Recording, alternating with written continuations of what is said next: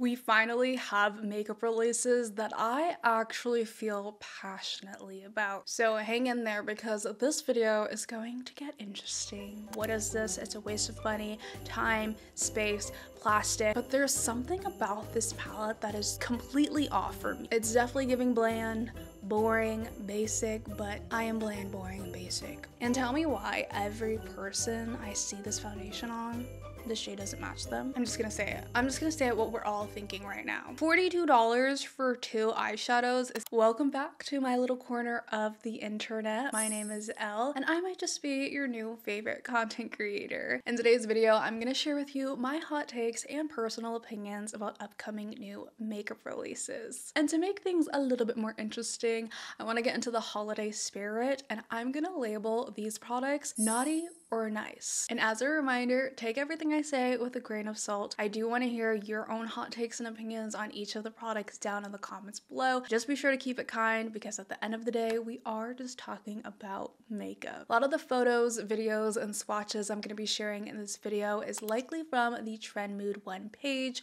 I highly encourage you to follow them if you want to hear about all of the new makeup releases. Now that we've gotten that out of the way, let's get into the hottest release of the year. That is definitely subjective, but these are more popular than you think. So Ulta is releasing or has released Ulta mini brands. Mini brands are just a toy company that sells these like balled up blind boxes of literally mini items. Now, I'm not gonna lie, when I first saw this release, I thought it was completely stupid. Like, I was gonna put this on my naughty list. What the heck? Ulta mini brands, you're literally paying $10 for pieces of plastic. And it's true, okay? I know my audience. I know y'all are also gonna hate on it. Like, what is this? It's a waste of money, time, space, plastic. I agree with you. I agree with you. However, I think it's kind of genius of Ulta. And I say this because after the past couple of years, with all of the new news being about Sephora kids and the younger generation being obsessed with makeup and beauty, I think it's just kind of fitting, especially to release before the holidays. I think Ulta Mini Brands is perfect for 13 year olds, 14 year olds, any kids that are interested in beauty but they can't actually have the real product. If you watch Inside Out 2, nostalgia will appear in your mid to late 20s because that is exactly what's happening with me right now. I am reflecting and remembering all of my old favorite toys and re buying them. In the beginning of the year, I repurchased a Nintendo DS Lite and a bunch of the games that I had from when I was a kid. And now I'm currently in the obsession of Bratz dolls because I have always been a Bratz doll girly, never really a Barbie girly. I love the Barbie movies, but I always collected Bratz dolls for every holiday, birthday,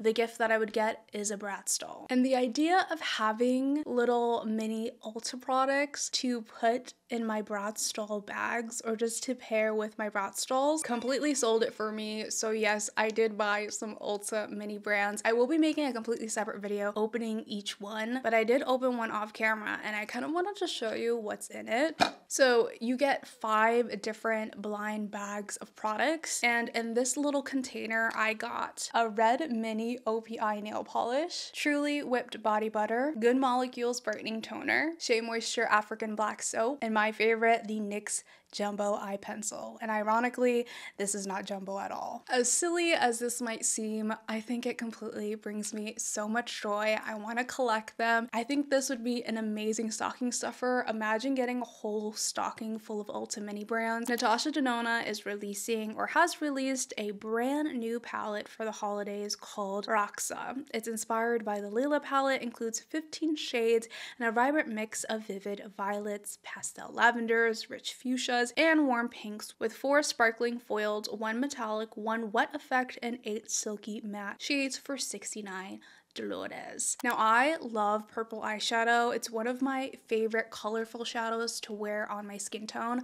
I think it is really flattering, but there's something about this palette that is completely off for me. The campaign images do not reflect the actual color story that I see in these pictures. I'm all about pinks and purples, and I don't think she needs to make a monochromatic purple palette for it to be a good palette, but I feel like If she did like periwinkle, purpley blues mixed in instead of adding the pink, it would add a little bit more uniqueness, depth to this palette that felt more purple because when you think of purple, you think of more like cool tone purples. So having pinks in this palette for me completely throws off the appeal of it. I also watched Morgan Turner's recent review of this palette and she said that a lot of the shimmers were kind of lackluster. And that's totally fine, but if I'm gonna buy shimmers, I want it to have a little bit of glitz, scattered sparkles in it, not just like a metallic foiled color. Plus, I also have a purple palette that I already love. I could completely dupe this with the eyeshadows that I own. So unfortunately, this is gonna go on my naughty list. Sorry, Natasha Denona. But not all hope is lost because I recently did buy her I Need a Warm palette and spoiler,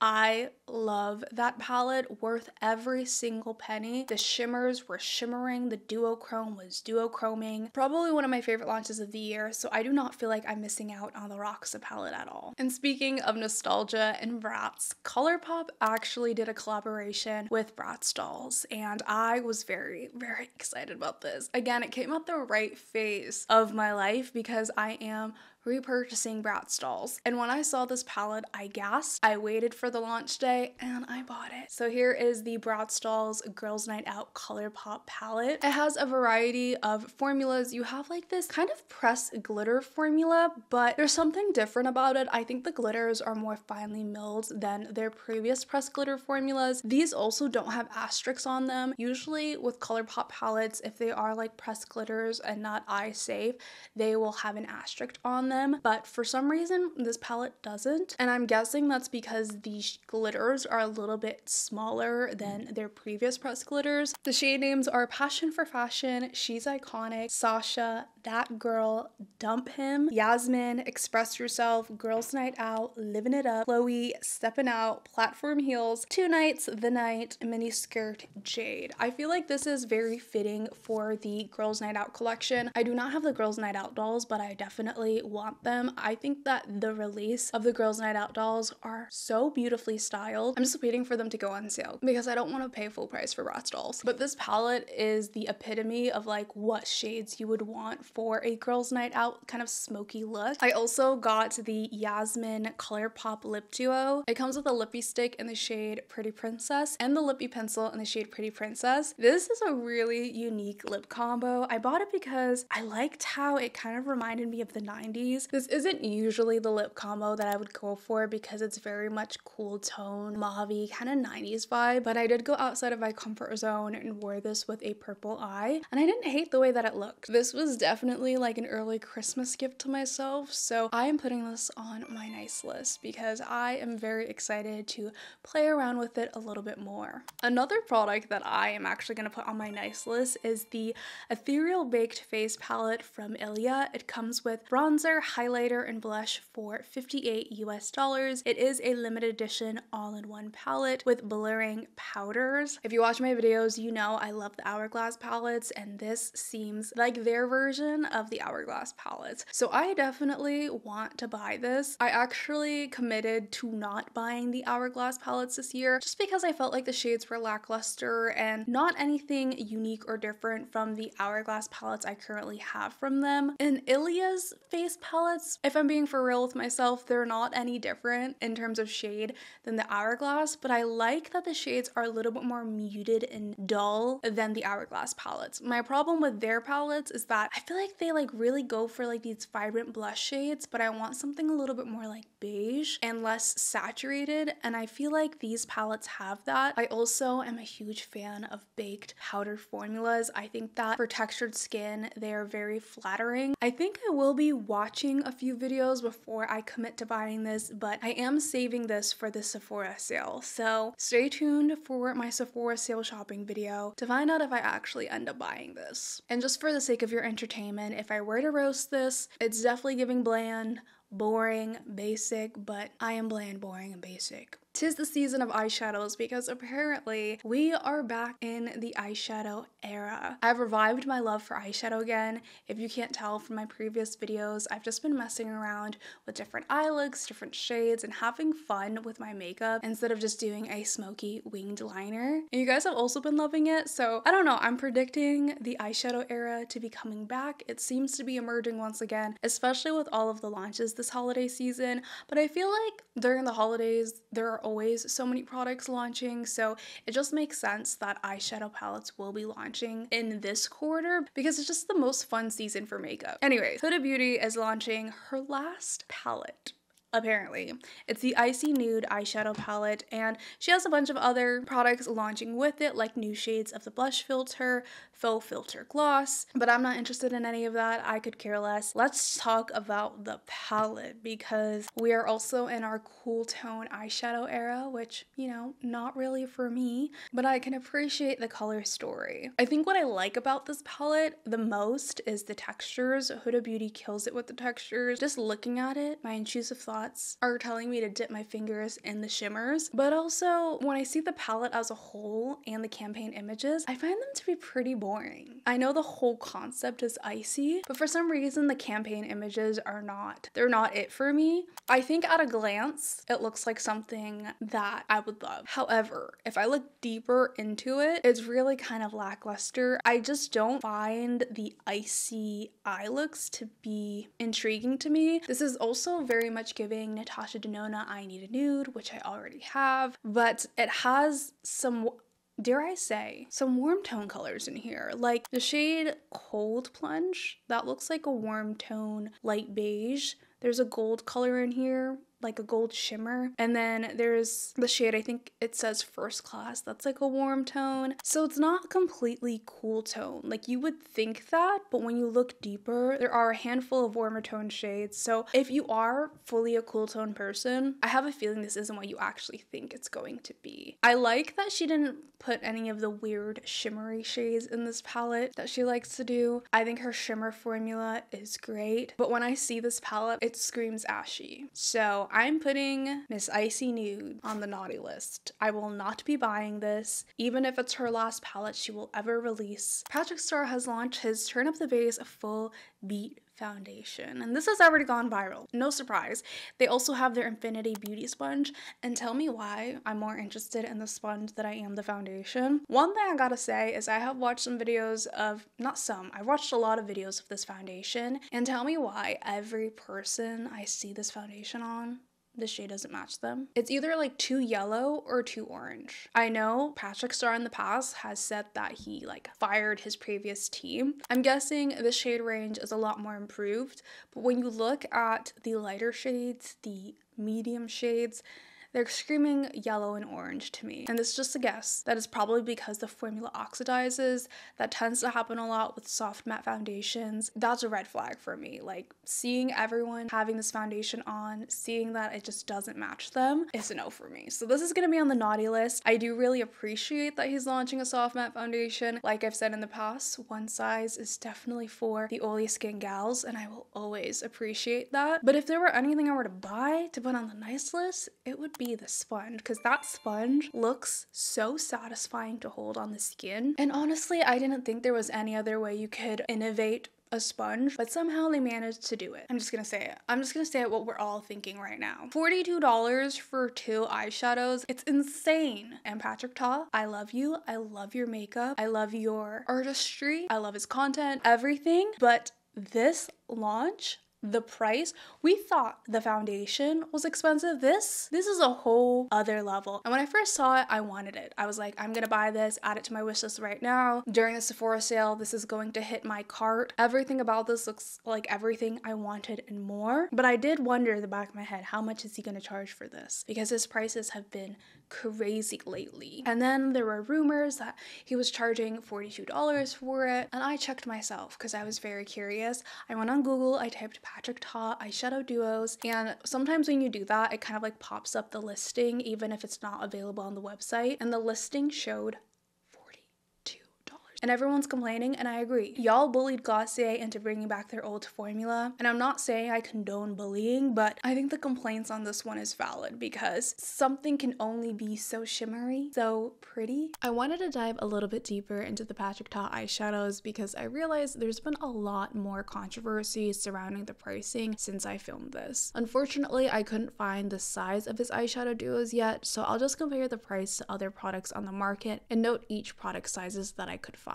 So we're gonna of course just start with his own brand because for $70 you can get the Patrick Ta palette with 12 different eyeshadows, two of which are creams, and each eyeshadow would value around $5. You can also buy two Urban Decay singles, and that would cost you $48 in total, but it would be a better value to get their new Moondust palette with four shadows, valuing around $9 each eyeshadow. And then if you bought two Charlotte Tilbury singles, it would cost $68, which is obviously more, or two Hourglass singles would also be $68, which again is more than the Patrick Ta duo. Lastly, for Pat McGrath, you can get their new holiday duo for $25, but this formula is likely not the same as Patrick Ta's. From what I've observed, the Pat McGrath Blitz Astral formula seems the most similar to Patrick Ta's new duos, and you can get that palette for $62 and it comes with four different eyeshadows. Personally, my criticism really isn't towards how the Patrick Ta duos compares to the rest of the market. For me, it's that the price of this duo, even compared to his own brand seems like a bad value. Again, you can buy his eyeshadow palette for $70. It comes with more shades,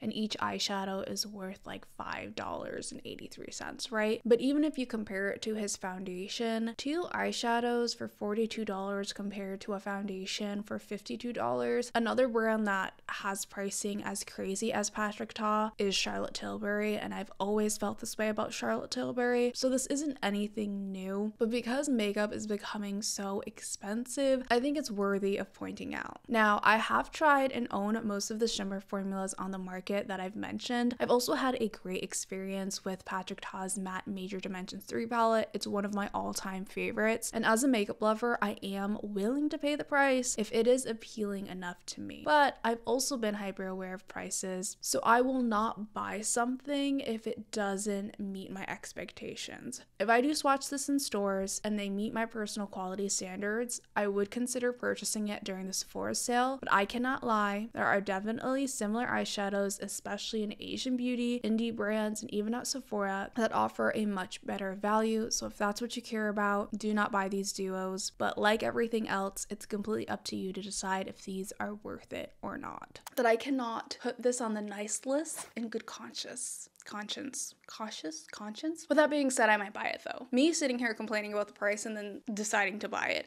Patrick ta whoever's doing your pricing tell them to stop it right now. All right we are not done with eyeshadow palettes. I'm sorry. I'm sorry, I don't make the rules here, but these eyeshadow palettes are the most interesting launches to me at the moment. And this is Makeup by Mario Ethereal Eyes in Moonlight, retailing for 68 US dollars. This was another product when I saw the launch, I was like, yes, I'm gonna buy that. Add to cart favorite, putting it on my nice list. But the longer I stare at it, the closer it moves to the naughty list because I do have the original Ethereal Eyes palette. I like it. Do I love it? Well, yeah, I do. I do really love it. Every time I do makeup looks with it, I find it to be really flattering on the eyes. But is it like the most perfect formula and color story for me? Eh, like, I would describe the shimmer shades almost exactly like the Urban Decay Moon Dust shadows. The glitters are very scattered, and in the OG Ethereal Eyes palette, I found that they all had this transparent kind of base, so you didn't really need all the shimmers in the palette, and I felt them to be kind of repetitive, and that may or may not be the case for this palette. And the only thing that's really intriguing me in this palette, only reason why I would buy it is for